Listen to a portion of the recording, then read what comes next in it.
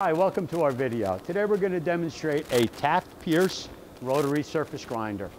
Um, this particular machine is currently wired for 220 volts, has a six inch diameter rotary magnetic chuck that has Walker controls that I'm going to show you right now.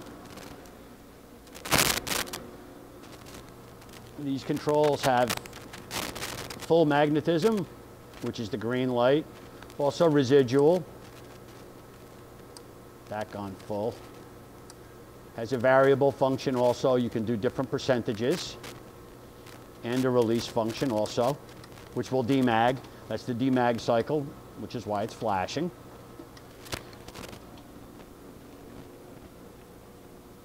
This machine has some, a few unique features that I'm going to demonstrate in just a moment, um, in that the head tilts and also the, the magnetic chuck tilts also. Um, the controls for the chuck, you can put it on jog or run, either way. Oh, it's running right now. I'll start the spindle for you. That's the spindle. It's a Pope spindle. It's nice and quiet.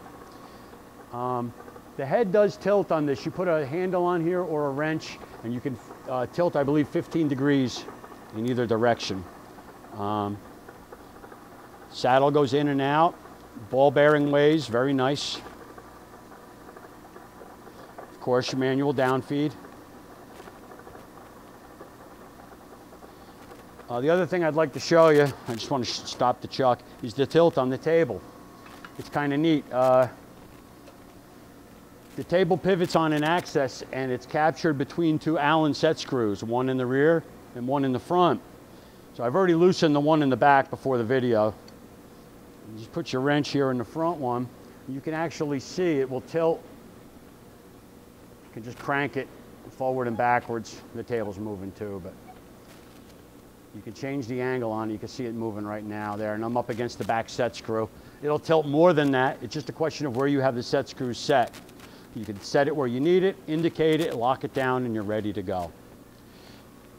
Again, you can run your table in, start it up, and you're ready to go. That's about it. Thanks for watching our video.